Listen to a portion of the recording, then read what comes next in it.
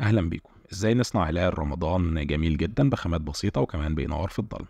أول حاجة استخدمت القطعة البلاستيك دي. دي كانت لعبة أطفال. تقدروا تستخدموا أي غطا بلاستيك بنفس الشكل على شكل قبة. بعد كده بقطعة من الكرتون. أول قطعة المقاسات بتاعتها 8 في 8 سم عملت منها اتنين. التانية 8 في 11 سم والتالتة 9 في 11 سم هلزق القطعة دي في بعضها باستخدام مسدس الشمع؟ كل قطعتين مقابل بعض عشان أعمل بيهم زي صندوق كده وطبعا بأكد على اللزق ده من جوه بالشمع عشان يكون قوي. بعد كده لزقت الغطا البلاستيك فوق ده هيمثل القبة. وبعدين استخدمت كمان المضرب بتاع الدبان هقطع منه أجزاء كده مربعة كل مربع فيه أربع شبابيك صغيرة. دول هيمثلوا الشبابيك. عملت ثلاث قطع زي بعض وهلزقهم في الواجهة بتاعة المجسم فوق في المكان اللي أنتوا شايفينه كده. ثلاث قطع جنب بعض.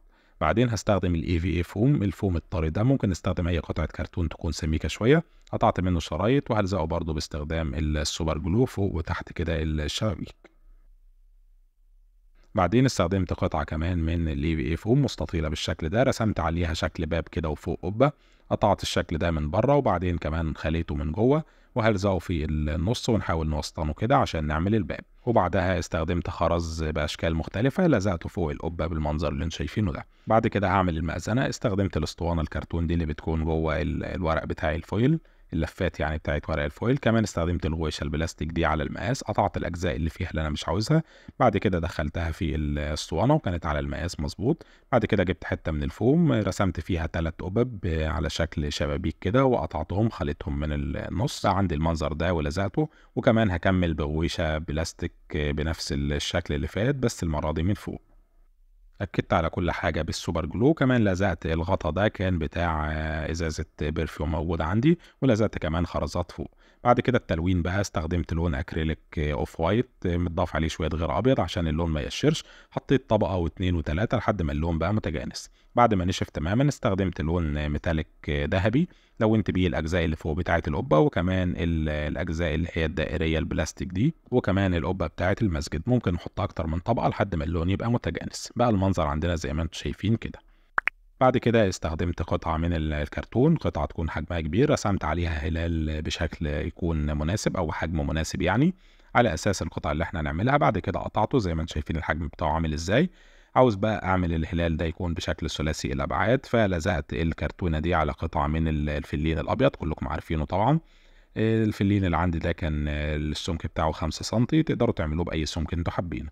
بعد كده قطعت القطع على الشكل وبعدين بقى عاوز أخلي شكلها انسيابي كده ودائري تكون شكلها كويس. فباستخدام المشرط وناخد بالنا وإحنا بنقطع بالمشرط عشان ما يجيش على إيدينا. هبدأ أشيل الحواف بتاعتها وأعملها بشكل دائري كده الأول ناخد الشكل الأساسي بتاعها ظبطته من كل الاتجاهات لحد ما الشكل عجبني وبعد كده هصنفره باستخدام الصنفرة بتاعه الخشب. دي صنفرة 150 صنفرت صنفره خفيفة كده عشان أنعمه ولسه هنغطيه دلوقتي عشان طبعا الفوم محتاج طبقة تخليه قوي شوية. ده بقى المنظر لحد دلوقتي. بعد كده هستخدم المعجون بتاع الخشب والجدران الجاهز موجود ومتاح وسعره رخيص. هحط منه طبقة باستخدام السكينة بتاعه الرسم أو باستخدام صوابعنا مفيش أي مشكلة. هغطي بيه الطبقة بتاعه الفوم دي كلها وأسيبها تنشف. بعد ساعتين كانت نشفت تماما. هصنفرها برضو صنفرة خفيفة عشان أنعمها. وبعد كده هنبدأ التلوين. بدأت بلون أكريليك متضاف عليه غير أبيض. الأول طبقة أساسية. أي لون مش هتفرق. إحنا لسه هنغطيه دلوقتي بلون ذهبي. استخدمت لون ذهبي ميتاليك سبراي. هحط منه طبقة أو طبقتين لحد ما اللون برضو يبقى متجانس. ده بقى شكله لحد دلوقتي.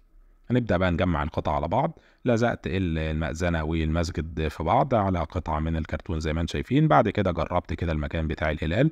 وهلزق باستخدام الشمع؟ لزقت الهلال في المكان اللي أنتم شايفينه ده. وأكدت من كل النواحي بالشمع عشان يكون ثابت. زي ما شايفين كده من ورا هتلاقوني برشمته كده بالشمع من كل حتة. وعشان أعمل الإضاءة بقى استخدمت ال fairy lights دي الإضاءة اللي بتشتغل بالبطاريات هلزقها ورا بحيث إن هي ما تكونش باينة. ممكن نلزقها بأي لزقه عادي أو بالشمع زي ما تحبوا يعني. المهم حطيتها بشكل إن هي ما تكونش باينة وكده خلصت. طبعا تقدروا بقى تعلقوه على الحيطة باللزق ال double face أو أي طريقة يعني. المهم لو عجبكم الفيديو ما تنسوش ال like واعملوا share أو explore لو حابين تدعموا المحتوى اللي بقدمه. وكل سنة وأنتم طيبين. سلام.